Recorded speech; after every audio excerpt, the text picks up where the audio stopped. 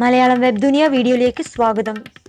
സാമ്പത്തിക പ്രശ്നങ്ങൾ പരിഹരിക്കാനായി സമ്പത്തിന്റെ കുടം അല്ലെങ്കിൽ സമ്പത്തിന്റെ പാത്രം വീട്ടിൽ സൂക്ഷിക്കുവാൻ ഫെങ്ഷുയി വിദഗ്ധർ ഉപദേശിക്കുവാറുണ്ട്.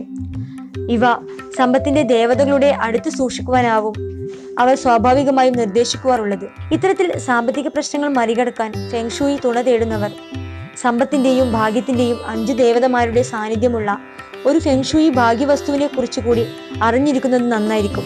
സമ്പത്തിന്റെ അഞ്ച് ദേവന്മാരുടെ രൂപം ആലേഖനം ചെയ്യുന്ന സമ്പത്തിന്റെ കൂടമാണ് ഈ ഭാഗ്യവസ്തു. ഇതിൽ അമൂല്യങ്ങളായ വസ്തുക്കൾ നിറച്ചിരിക്കുന്നു. വീടുകളിലായാലും ഓഫീസുകളിലായാലും ആലേഖനം ചെയ്തിരിക്കുന്ന ദേവന്മാർ പ്രധാന വാതിലിനെ അഭിമുഖീകരിക്കുന്ന വിധത്തിൽ വേണം ചെമ്പിൽ തീർത്ത ഈ കുടം സ്ഥാപിക്കേണ്ടത്.